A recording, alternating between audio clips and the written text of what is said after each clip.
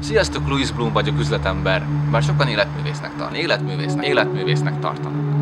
Ha ismerős a nevem, az azért is lehet, mert megfilmesítették életem Jake Gyllenhaal főszereplésével, ami megtisztelő számomra, hiszen színészi munkáját nagyra becsülöm. A címet, az éjjeli férget jó magam javasoltam a rendezőnek, Dan Giroynak, akinek egyből elnyerte tetszését, hiszen egy mondatban kifejezzük, hogy a film mit is akar mondani és közvetíteni.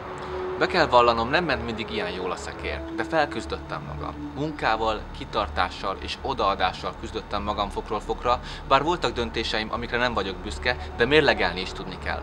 Néha a jó embereknek is kell tenni rossz dolgokat, hogy azok maradhassanak. A magam részéről roppant gyorsan tanulok, ami elengedhetetlen erény, főleg napjainkban. Reflektálni gyorsan a világ rezdüléseire, hogy végül megtalálhassuk számításainkat.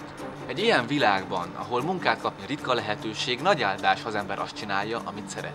És igen, nekem sikerült. Én csak a magam példájával ösztönözhetlek, bíztathatlak. Sokan tartanak megbízhatónak, tisztelettudónak, egyenesnek.